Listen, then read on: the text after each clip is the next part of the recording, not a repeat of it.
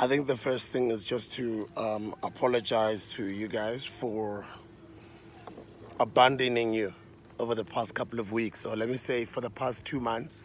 Ever since I started radio, I have not been posting my videos here on YouTube.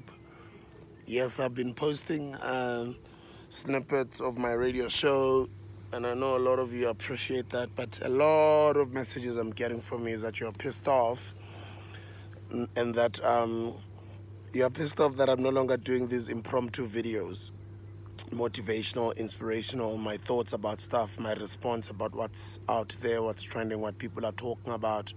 I didn't know that you guys were enjoying those videos so much. Well, I, I kind of knew because obviously they've got a, a lot of views and they've got a lot of um, engagement from a, a, lot of you guys. Um, so I didn't know that you you are appreciating those videos. And it's not like i was shooting them on high quality cameras.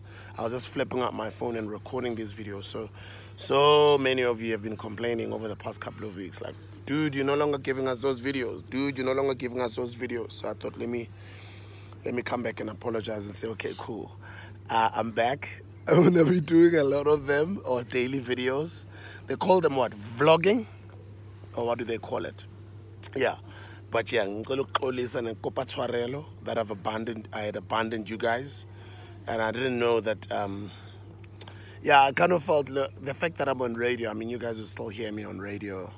But geez like I can't take this anymore. So many messages like every day you guys DM me on all of my other social media platforms dude your youtube videos. Dude your youtube videos. What happened? What happened? Have you abandoned us on youtube? I haven't abandoned you. I love you. I appreciate you. And thank you for calling me out. So i will be vlogging again daily. Yeah. And i uh, just wanted to you know do this video and say i'm back by popular demand